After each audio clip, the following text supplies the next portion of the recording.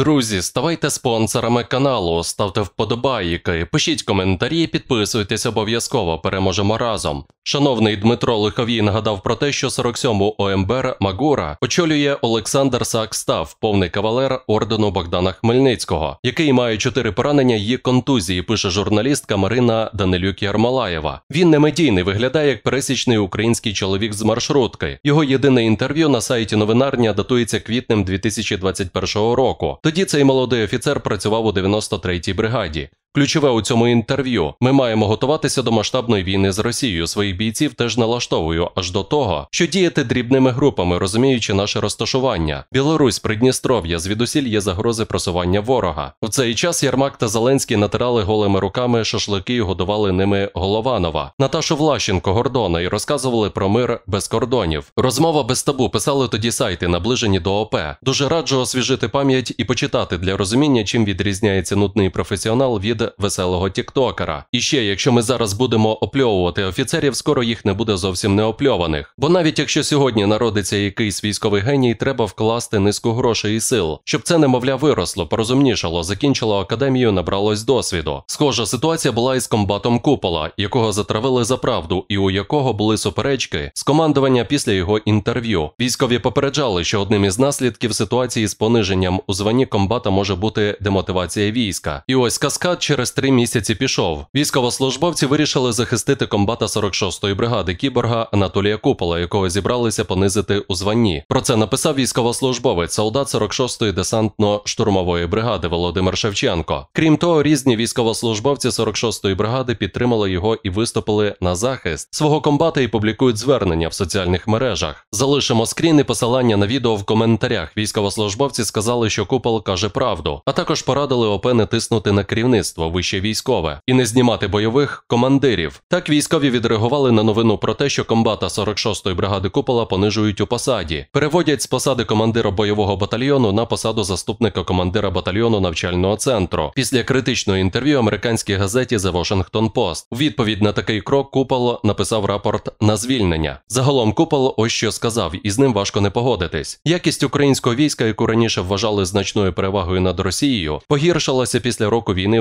внаслідок значних втрат, зокрема найдосвідченіших бійців, що змусило деяких чиновників поставити під сумнів готовність Києва розпочати довгоочікуваний весняний наступ. Пише американське видання Washington Post. Наплив недосвідчених призовників, якими компенсують втрати, сильно вплинув на боєздатність українських сил, які також страждають від браку боєприпасів, зокрема артилерійських снарядів та мінометних бомб, розповіли WP українські військові. Найцінніше на війні це бойовий досвід. Цитує видання командира батальйону 46-ї десантно штурмової бригади із позивним Купол, а бійців із бойовим досвідом одиниці, бо вони, на жаль, уже загинули або поранені. Після року війни підполковник Купол каже, що його батальйон не впізнати. З приблизно 500 солдатів близько 100 були вбиті в бою та ще 400 поранені, що призвело до повної заміни людей. А новопризвані непідготовлені солдати, каже він, які ніколи не кидали гранати і бояться звуків пострілів, тікають з позицій під обстрілом. Про схожу ситуацію WP розповів також військовослужбовець на ім'я Дмитро. Деякі з менш досвідчених військовослужбовців, які служать на його позиціях у 36-й бригаді морської піхоти в Донецькій області, каже він, бояться залишати окопи. За його словами, під час інтенсивних обстрілів у деяких виникають панічні атаки. Такі похмурі оцінки спровокували відчутний, хоча здебільшого не висловлений песимізм від передової до владних коридорів у Києві.